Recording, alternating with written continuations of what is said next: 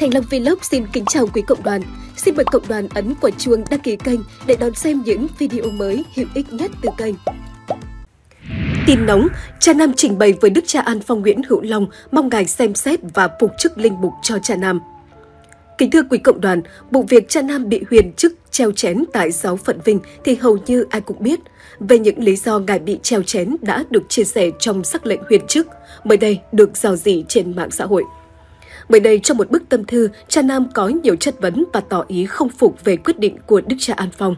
Ngài viết, phản biện sắc lệnh phần 4 với luận chứng thứ ba. Sắc lệnh viết, những việc cha Nam làm trên đây tỏ rõ cha không tôn kính và vâng phục giám mục của cha như giáo hội đòi buộc các linh mục. Kính thưa Đức cha, Nhìn lại quá trình vụ việc, từ khi Đức cha về cai quản giáo phận để tìm điều gì con không vâng phục, không tôn kính – một, ngay từ những ngày đầu về giáo phận Vinh, Đức cha đã phúc trình sang tòa thánh rằng linh mục đoàn giáo phận Vinh không ủng hộ mình. Đức cha còn tố cáo một nhóm linh mục giáo phận Vinh phản nghịch, nổi loạn, vô luân, bất tuân, chống lại mình. Dẫu không bằng chứng, Đức cha vẫn tố cáo đích danh linh mục An Tôn Đặng Hiệu Nam là kẻ đứng đầu trong nhóm phản nghịch, nổi loạn, vô luân, bất tuân, chống lại mình – Dẫu con không có một ý định, lời nói hay hành động chống lại Đức Cha, có người đã đến Mỹ Khánh để điều tra con về lá thư nặng danh biết về Đức Cha, mặc dầu con không biết về lá thư này. 2. Ngày 17 tháng 6 năm 2020, thông báo tuyên truyền và bổ nhiệm linh mục tháng 6 năm 2020 được văn phòng tòa giám mục gửi qua hộp thư điện tử email cho linh mục đoàn và tràn lan trên mạng xã hội, trong đó có nội dung Linh mục Du Sê Nguyễn Xuân Vinh, nguyên quản sứ Sơn Trang, nay được tuyên truyền và bổ nhiệm làm cha xứ giáo sứ Mỹ Khánh.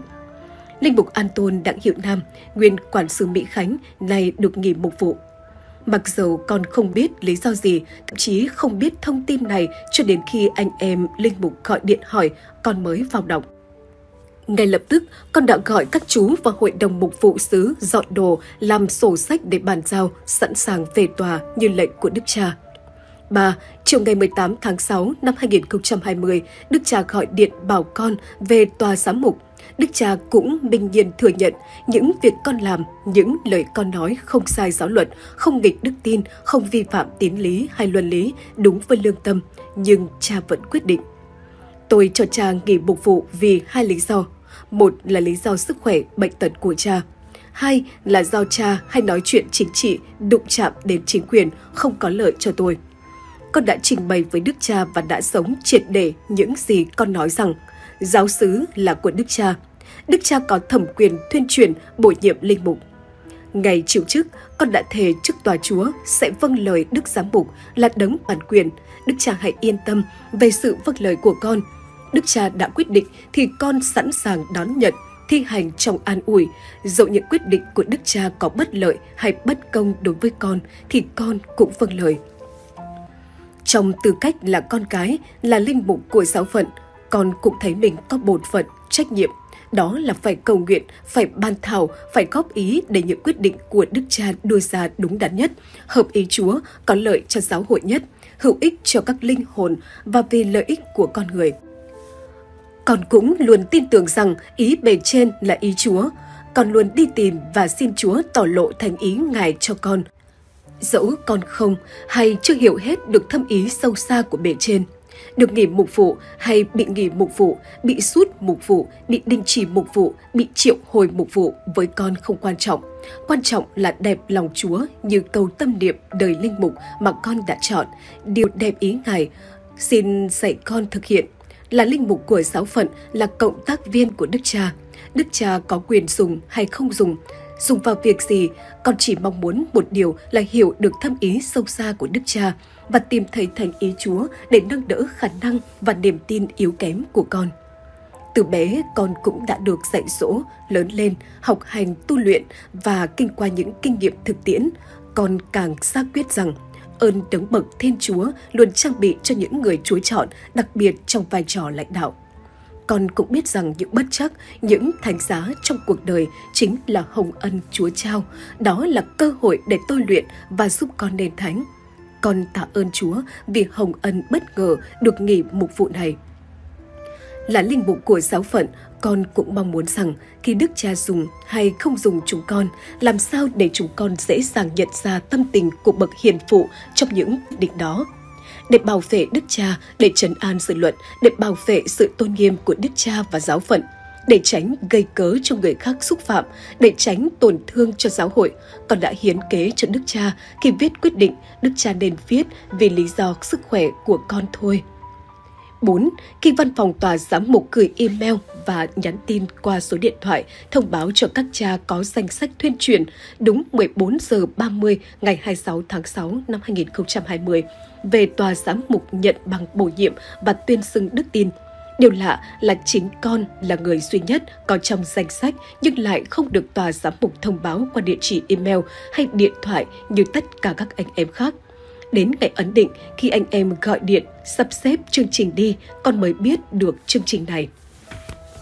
Có người đã khuyên con rằng, theo lý, khi không được thông báo thì không cần phải đi. Con đã nhận định, đây có thể là cái bẫy dành cho con.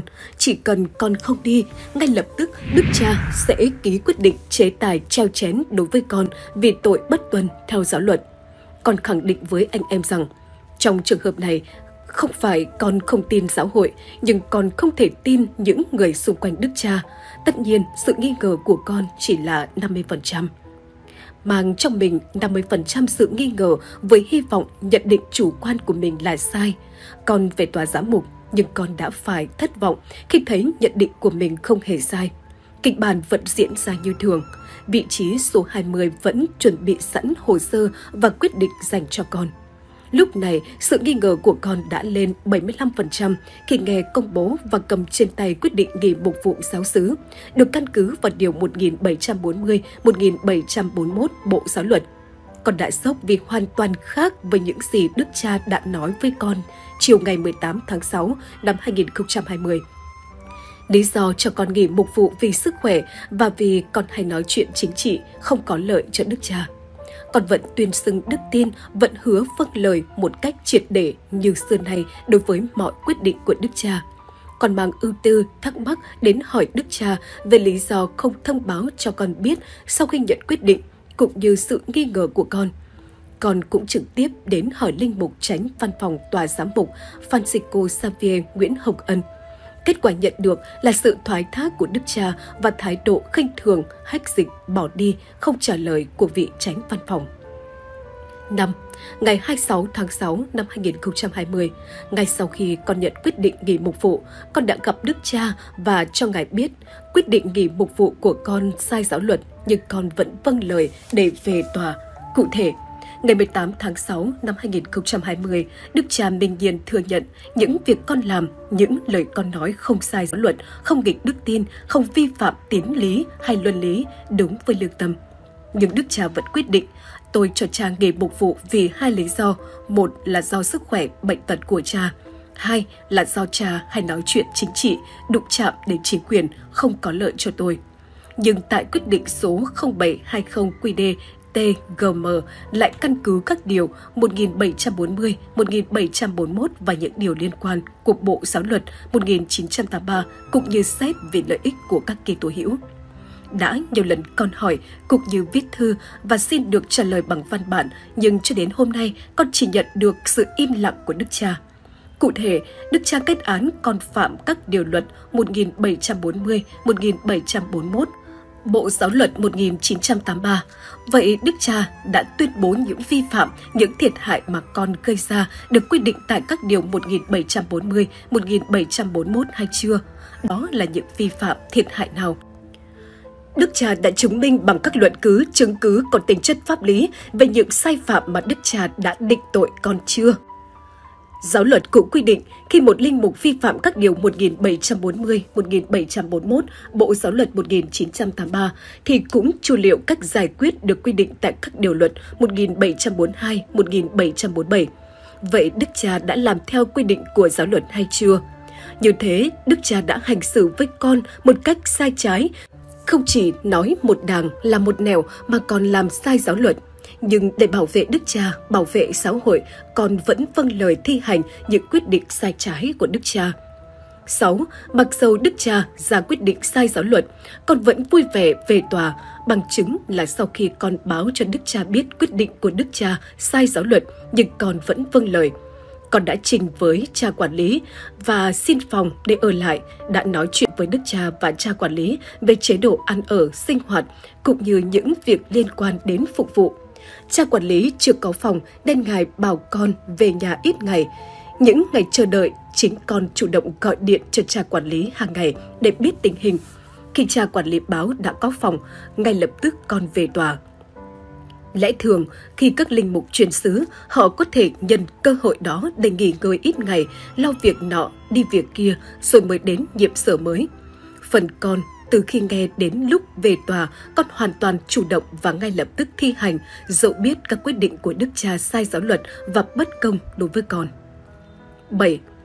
Ngày 20 tháng 7 năm 2020, ông Phêrô Nguyễn Tiến Thành, 46 tuổi, người xứ Phú Yên, là thân phụ của em Phêrô Nguyễn Tiến Lợi. Em Lợi là nghĩa tử của con. Theo con lên Mỹ Khánh để học. Khi con được nghỉ mục vụ để về tòa, phải gửi em lại nhà dân để học tiếp. Ông Thành gặp nạn, chết khi đi đánh cá ngoài biển.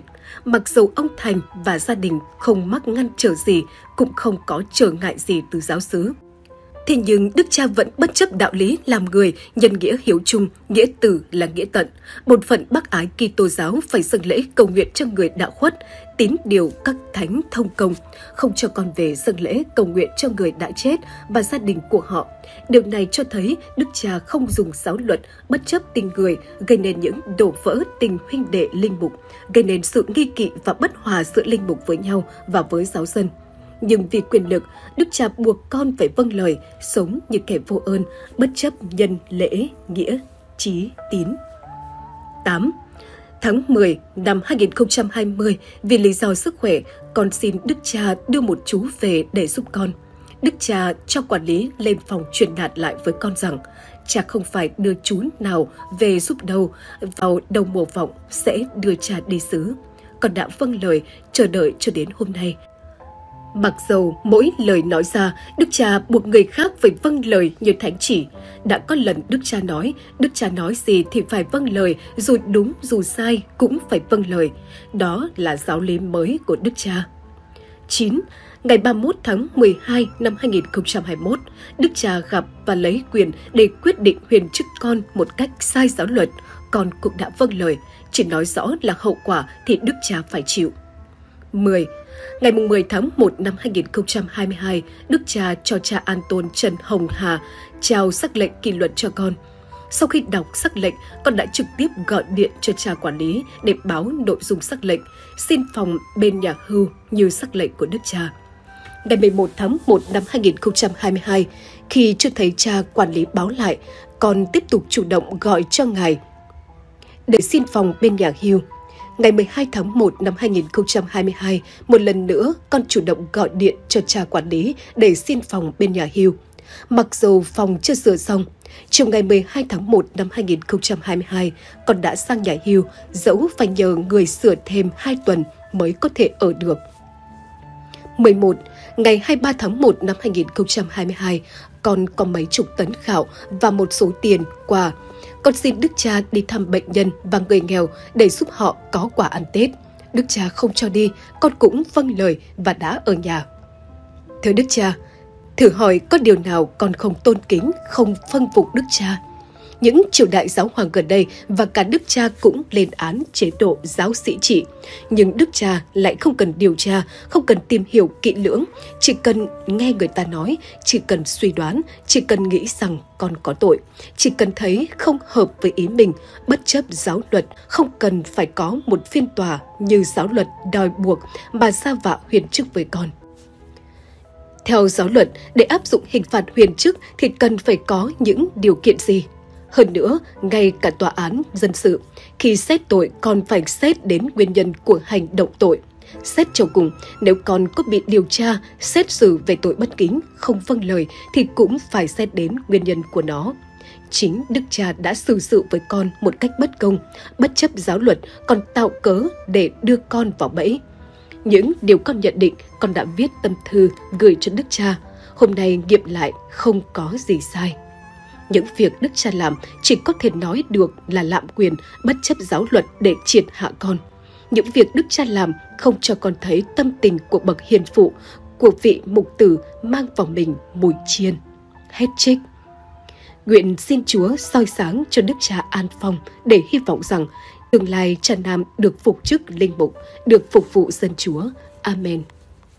Vâng, nếu như cộng đoàn lần đầu xem video này của con thì hãy nhớ ấn like video và đăng ký kênh để cập nhật những tin hay nhất về đạo công giáo, cũng như truyền cho con động lực để con có thể ra nhiều video phục vụ cộng đoàn. Con xin hết lòng cảm ơn.